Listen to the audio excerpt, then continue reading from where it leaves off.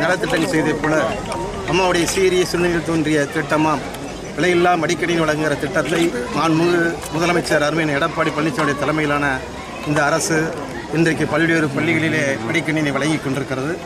அதனை போன்று திருநெல் வீடு கட்டுறவு சங்கம் கூட்டுறவு சங்கத்தின் சார்பாக நடைபெறுகிற சவிதாபாய் மேல்நிலைப் பள்ளியில் இன்றைக்கு மடிக்கணினி வழங்குகிற நிகழ்வு தம்பி செல்வகுமார் தலைமையில் இங்கே நடைபெற்றிருக்கிறது. அதில் மாணவர்களுக்கு நூற்றுக்கு இரநூறுக்கும் மேற்பட்ட மாணவர்களுக்கு இன்றைக்கு மடிக்கணினி வழங்கப்பட்டிருக்கிறது. ஆழ்வலை வந்து அதிகமாக உயர்த்தி பொதுமக்களுக்கு பாதிப்படைய மொத்தமாக உயர்த்திட்டாங்க அப்படிங்கிற மாதிரி எதிர்க்கட்சிகள் குற்றச்சாட்டு எதிர்க்கட்சிகள் பல்வேறு வகையான குற்றச்சாட்டுகளை சொல்வது இயல்பு. ஆனால் கொள்முதல் விலையை உயர்த்த வேண்டும் என்று வலியுறுத்தி பேசியது சட்டமன்றத்திலே எதிர்க்கட்சியான திராவிட முன்னேற்றக் கழகம்தான் வலியுறுத்தி பேசியது. அதிகமாக அன்றைக்கே அவர்கள் சொன்னார்கள்.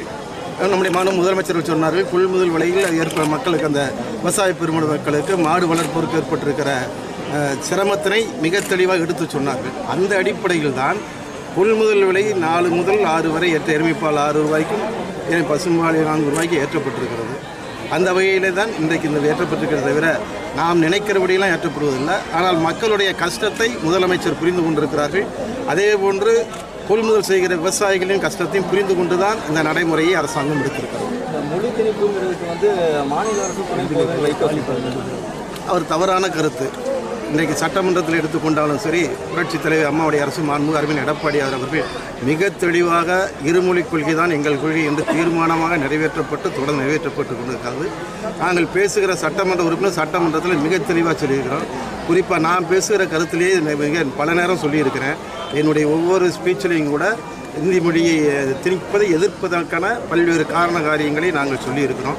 ஆக அஞ்சல் துறையாக இருந்தாலும் சரி ரயில்வே துறையாக இருந்தாலும் சரி இந்தி மொழி திணிக்கப்படுமேயானால் அதை உடனடியாக எடுத்துக்காட்டி அதை திரும்ப பெறுகிற மத்திய அரசு திரும்ப பெறுகிற வாய்ப்பை இந்த தமிழக அரசு ஏற்படுத்தி இருக்கிறது என்பதை நான் அறிவுறுத்த விரும்புகிறேன். பொருளாதார மந்த நிலையை பற்றி கொடுத்து பேச ப. சிதம்பரம் பேசினால தான் அவர் மேலே இப்போ பிடிவாரண்டு போட்டிருக்கதா ஒரு குற்றச்சாட்டு. ஏற்கனவே நடந்து வருகிற வழக்கு நீதித்துறை நம் கையில் எடுக்க முடியாது.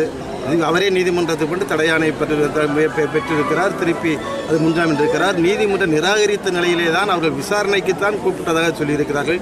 அவரை கைது செய்தவர்கள் விசாரணையில் தெரிந்து கொள்வதற்காக ஏன்னா அதில் சொல்கிறத பார்த்து அவங்க சொல்லி இன்றைக்கி ஜட்ஜே சொல்லியிருக்கிறார். அந்த நீதித்துறையுடைய முன்ஜாமீன் வழங்க நிராகரிக்கிற முன்ஜ நிராகரிக்க நீதித்துறை இருக்கிறார். இதில் மிகப்பெரிய உயர்ந்த நிலையில் இருக்கிறவர்கள் அவருடைய ஒப்புதல் இன்றி எதுவும் நடக்கவில்லை. அவருடைய ஒப்புதல் இருந்திருக்கிறது. ஆகவே நாங்கள் முன்ஜாமீன் கொடுக்க முடியாது என்று சொல்லியிருக்கிறார். அப்படிப்பட்ட சூழ்நிலையில் அரசு எடுக்கும் நடவடிக்கையை நாம் விமர்சிக்க முடியாது. சிபிஐ எடுக்கிற நடவடிக்கை அரசுக்கு சம்பந்தமில்லை சிபிஐ என்பது தனிப்பட்ட ஒரு துறை. அந்த தனிப்பட்ட துறை எடுக்கும் நடவடிக்கையை அரசாங்கமோ இல்லை நம்முடைய தூண்டுதலுக்கோ வருவதில்லை. ஆகவே இதை விமர்சிக்க நான் விரும்பவில்லை. ஒரே நாடு ஒரே தேர்தல்ங்கிறத பற்றி சொல்லியிருக்காங்க. ஒரு ஒரே நாடு தான் இந்தியா என்பது ஒரே நாடு தான் ஆனால் ஒரே மொழின்னு சொல்லலையே அவர். ஒரே நாடு ஒரே தேசம் இல்லை ஒரே மொழின்னு சொன்னால் நீங்கள் சொன்னீங்களே இரு- இருமொழி கொள்கை தமிழ் என்ற மொழிக்கு என்றைக்கே ஆபத்து வருமையானால் எப்பக்கம் பூந்து விடும் இந்தி என்று சொன்ன அந்த பாரதிதாசன் வழியிலே நாவலர் வழியிலே நாங்கள் என்றென்றைக்கும் கொடி தூக்கி நிற்போம். அந்த திணையை அவங்க எடுக்கலை. எல்லா எல்லாத்தையும் எடுத்தாங்க. எல்லாருக்கும் நீங்கள் சொன்னபடி ஒரே நாடு. இந்தியா ஒரே நாடு மறுக்கலை. இந்தியாவில் மாநிலம் தமிழ்நாடு. அவ்வளோதான் இந்த ஒரே நாட்டில் அவரவர் மொழி அவரவருக்கு அரசாங்க மொழியாக ஆக்க வேண்டும் என்று வலியுறுத்திக்கணும் தொடர்ந்து ஆயிருக்கு. தமிழ் மொழி நமக்கு மொழி மொழி உணர்வோடு இங்கே இருக்கிறோம். தமிழ்நாடு என்ற மாநில உணர்வோடு நாம் இருக்கிறோம். மதுரை மாவட்டத்தை இரண்டாக பிரிக்கிறதா வந்து சமூக வலைதளங்களில் வந்து வந்துருக்கு. இல்லை அப்படி இல்லை பிரிப்பதும் பிரிக்காதும் அரசு வசதிக்காக மக்கள் கோரிக்கைக்கு ஏற்ப மக்கள் இங்கே கோரிக்கை மதுரை மாவட்டத்தை பிரிக்கணும் அவசியம் இருந்தால் கோரிக்கை வரும் அந்த மாதிரி கோரிக்கை. அதனால் மதுரை மாவட்டத்தை பிரிக்க வேண்டிய அவசியம் இல்லை என்பது மனு அமைச்சர் சொல்லியிருக்கிறாங்க. எல்லாம் சொல்லிட்டாங்க. மதுரை பிரிக்க வேண்டிய அவசியம். ஏன்னா மாநகராட்சி தனிமையான நிர்வாகத்தில் இருக்கிறது. மாநகராட்சியை பொறுத்த வரைக்கும் அது ஒரு ஐஏஎஸ்ஐ கட்டுப்பாட்டில் அதுவே நான்கு தொகுதிகளை உள்ளடக்கி இருக்கிறது. மீதம் ஆறு தொகுதி தான் இருக்குது அதனால் இதை பிரிக்கணுன்ற அவசியம் இல்லைன்னு மக்கள் சில பேர் கருதுறாங்க.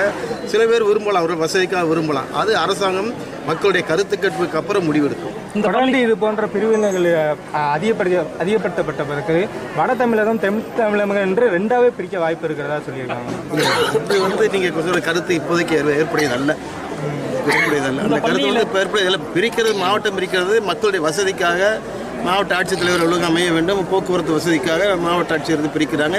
இதை தவிர மத்திய அரசு நிதி கொடுக்கறது மாவட்ட அளவில் கொடுக்குறாங்க. உண்மையே சொல்ல போனால் மாவட்ட அளவில் நிதி கொடுக்கிறார்கள். எந்த வறட்சி மாவட்டமாக இருந்தாலும் சரி வெள்ள மாவட்டமாக இருந்தாலும் சரி மத்திய அரசும் சரி அடுத்த மாநில நிதி உதவும் சரி கடன் வழங்குறதுக்கும் சரி மாவட்ட நிதி வழங்கும். அந்த மாவட்டத்திற்கு அதிகமான நிதியுதவி கிடைக்கும் என்ற அடிப்படையில் தான் போக்குவரத்து வசதி இருந்தால் அந்த அடிப்படையில் தான் மாவட்டங்கள் பிரிக்கப்படுகின்றன.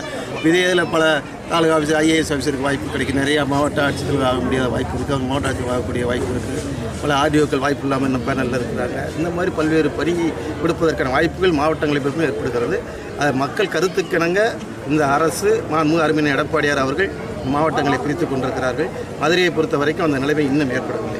மழைநீர் சேகரிப்பு எந்த அளவுக்கு மக்களிடையே விழிப்புணர்வு சென்று மழைநீர் சேகரிப்பு மாண்பு இதே புரட்சி தலைவி அம்மாவால் கொண்டு வரப்பட்ட முன்வைக்கப்பட்ட மிக அற்புதமான திட்டம். அந்த திட்டத்தை செயல்படுத்துவதிலே பல்வேறு சிரமங்கள் சாதாரண மக்களுக்கு இருக்கின்றன. ஆனால் இன்றைக்கு மாண்புமிகு வே- அருமை அண்ணன் வேலுமணி அவர்கள் உள்ளாட்சித்துறை அமைச்சர்கள் மிக தெளிவாக சொல்லியிருக்கிறார்கள். மிகப்பெரிய கட்டிடங்கள் பள்ளி கட்டிடங்கள் அரசு கட்டிடங்கள் அத்துணைகளும் வந்து இன்றைக்கு மழைநீர் சேகரிப்பு கட்டிடங்களை உடனடியாக பண்ண வேண்டும். என்று அதற்கான நிதியை ஒதுக்கி இப்பொழுது அரசு பள்ளிகளுக்கும் சரி பஞ்சாயத்து யூனியன் பள்ளிகளுக்கும் சரி மழைநீர் சேர்க்க சொல்லி அதற்கான நிதியை ஒதுக்கி இருக்கிறார்கள். எல்லா பள்ளிகளும் வந்து மழைநீர் சேகரிப்பு திட்டத்தை கொண்டு வருவதற்காக இன்றைக்கு முதற்கட்டமாக செய்திருக்கிறார்கள். இந்த வழிமுறையை நாம் அனைவரும் மக்கள் அனைவரும் பின்பற்றுவேனால் மழைநீர் சேகரிப்பு மிகப்பெரிய வெற்றி அடையும் இந்த பள்ளியிலே தண்ணி தட்டுப்பாடு இருக்குன்னு சொல்லி உங்களுக்கு ஆசிரியர்லாம் சொல்லிட்டு இருக்காங்க அதுக்கு ஏதாவது நடவடிக்கை எடுக்கணும் இந்த பள்ளியில் தண்ணி தட்டுப்பாடு மூணு போர் இருக்கு.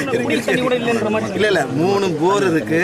இது தவிர மாநகர்கள் இந்த குடிநீர் வை கூட்டு குடிநீர் திட்டத்தில் இருந்து இப்போ வை காவிரி நதியில் பேசுது திருநகருக்கு எல்லா ஊருக்கும் தண்ணி வருது.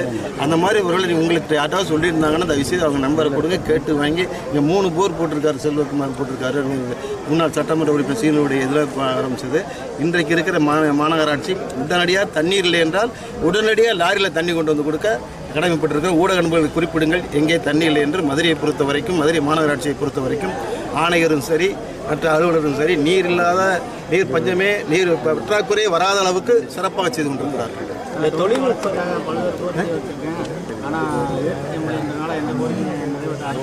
யார் யார்? கூட முதலமைச்சர் நினைத்தால் வாய்ப்பு கொடுக்கலாம். அதற்கான சூழ்நிலை உருவானால் வாய்ப்பு கொடுக்கலாம். அதுக்கான சூழ்நிலையும் இது கிடைக்கும் போது ஒவ்வொருத்தரும் கிடை பல பேருக்கு கிடைப்பதற்கு எனக்கு மட்டும் இல்லை பல பேருக்கு கிடைப்பதற்கு வாய்ப்பு இருக்கிறது. இல்லை அரசு நேரடியாக நாங்கள் சந்திப்பு சட்டமன்ற உறுப்பினராக இருந்தே பல்வேறு சாதனை எங்களால் செய்ய முடிகிறது. அதனால் அது ஒரு பெரிய காரணம். தனியார் பத்திரிகையில் ஊடகத்தில் எது வேணாலும் எழுதலாம். எங்களுடைய நோக்கம். மிகச் சிறப்பாக பணி பொதுப்பணி ஆற்ற வேண்டும். அந்த பொதுப்பணிகளை முறையாக சிறப்பாக செய்கிற மன திருப்தி எங்களுக்கு இருக்குது சார் கூடுதல் பொறுப்பாக வந்து ஆர்பி உதயகுமார் அவர்களுக்கு தகவல் தொழில்நுட்பம் கொடுக்கப்பட்டிருக்கு. அது வந்து ராஜன் செல்லப்பாக்கு நிராகரிக்கப்பட்டுள்ளது? இல்லை இல்லை. அது சொல்லப்பா கேட்கவே இல்லை.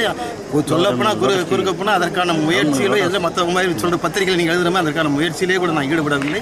இயற்கையாக முதலமைச்சர் நினைத்தால் யாருக்கு வேண்டாலும் கூடுதல் பொறுப்பை கொடுக்கலாம்.